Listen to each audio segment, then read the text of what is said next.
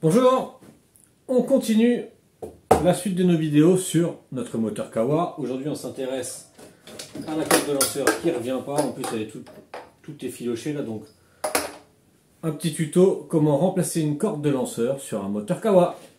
Allez Si le contenu de cette vidéo n'a pas suffi à vous dépanner, je vous rappelle que le bouton rejoindre est là pour vous pour une assistance. Merci.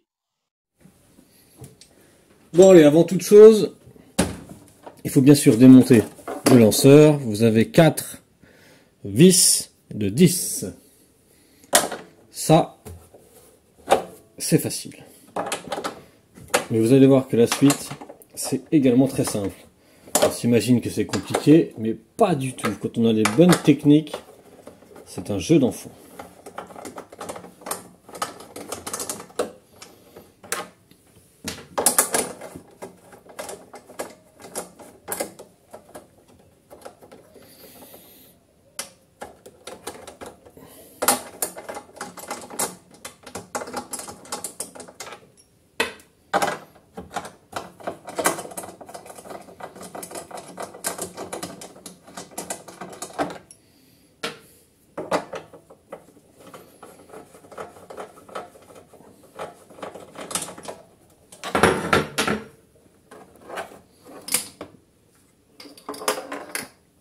Bon, jusqu'à là, c'est facile.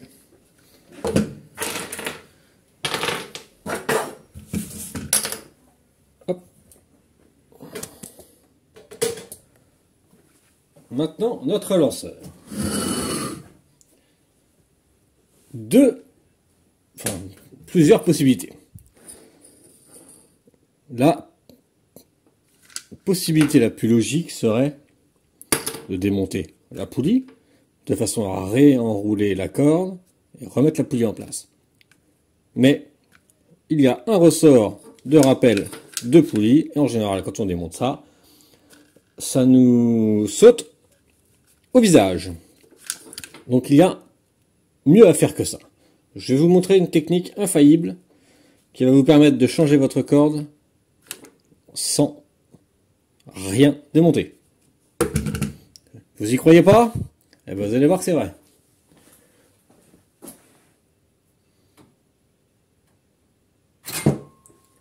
Vous prenez un tournevis. Et là, vous tendez, vous tirez la corde au maximum. Maximum. Tant qu'on peut tirer, on tire. Ah, là, je peux plus tirer. Je peux plus tirer, ma corde est en face, là. Ok? Je viens bloquer les 4 tournevis. Et je lâche. Il est trop gros mon tournevis. Pour un tournevis plus petit, il faut bien que ça rentre parce que si le tournevis lâche, vous aurez fait tout ça pour rien.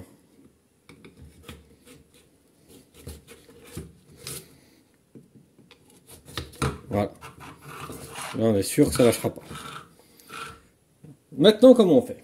Bien sûr, il vous faut de la corde, ça, ça me paraît évident. Corde de 3 mm. La longueur, pour l'instant, on ne sait pas. On va couper la corde, admettons, ici. Peu importe où on coupe, d'ailleurs. On coupe et on retire le petit nœud qui est là.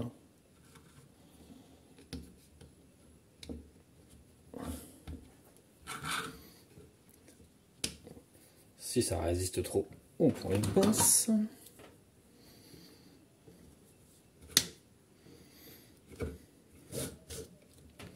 Voilà.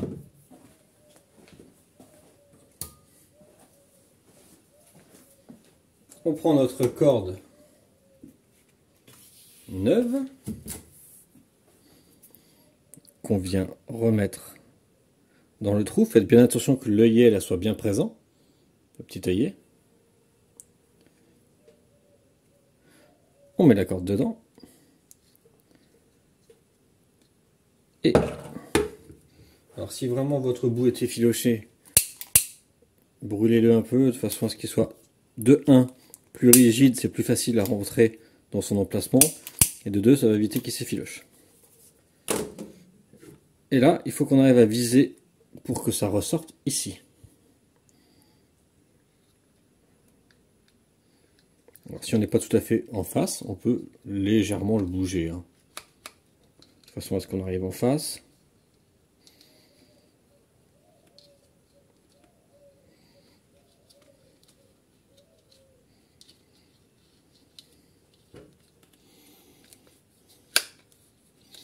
Moi, j'ai pas l'air d'être tout à fait en face. Je vais me décaler d'un cran. Je me décale d'un cran.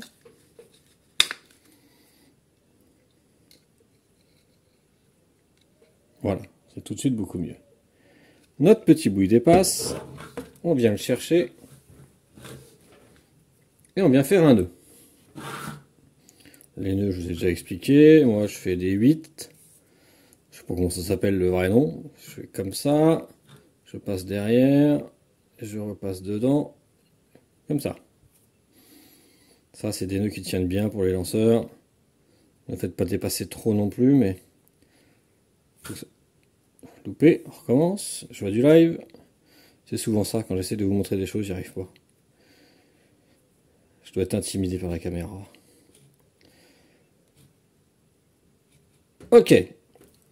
Un beau nœud. Je viens remettre ma corde en place et je viens tirer pour bien mettre en place le nœud. Voilà, vous avez un beau nœud bien en place. Qu'est-ce qu'il vous reste à faire? Retirer votre tournevis qui bloque. Et là, par magie, le ressort va agir sens inverse et va enrouler votre nouvelle corde. On le laisse faire.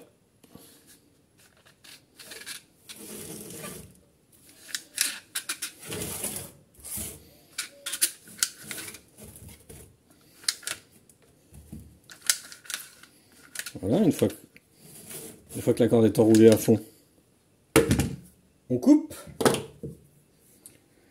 À nouveau, en gardant une petite marge, hein, ne coupez pas jusqu'à fleur. Hein. Vous gardez une petite marge, comme ça. On coupe, on ne lâche pas, pour pas que la corde rentre, on sait jamais. Voilà. On vient rebloquer de façon à être libre de nos mouvements. Voilà. À nouveau, je viens brûler le bout.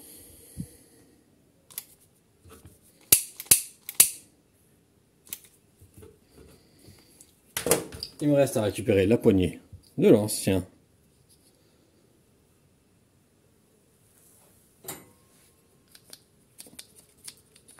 faut réussir à enlever le nœud. Voilà.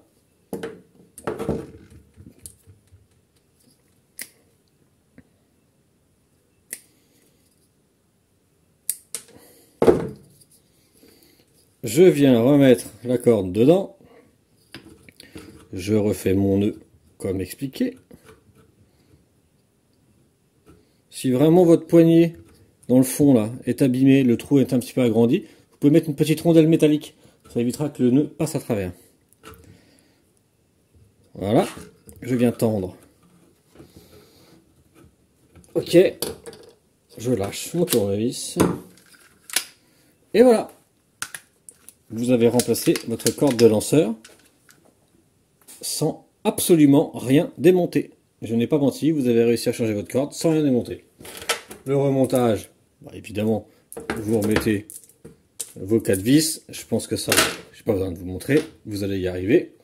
Cette procédure-là fonctionne également, bien sûr, sur la plupart des lanceurs, Brig, Honda ou autres. Voilà.